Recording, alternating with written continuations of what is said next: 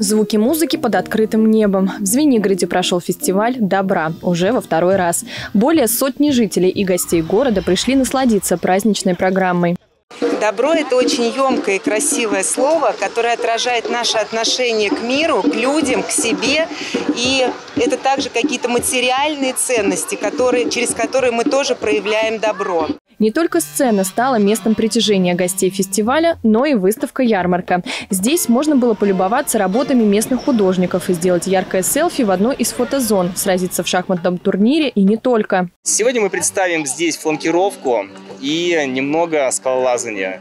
Ну и, конечно же, водную стихию закроет сабборд, на котором можно будет побалансировать прямо здесь, в парке. Главное событие лета в Звенигороде прошло ярко, но впереди жителей и гостей города ждет еще много интересного. На 15 июня запланирован фестиваль водных видов спорта. Он будет посвящен Дню России. Карина Еряшева, телекомпания «Одинцова».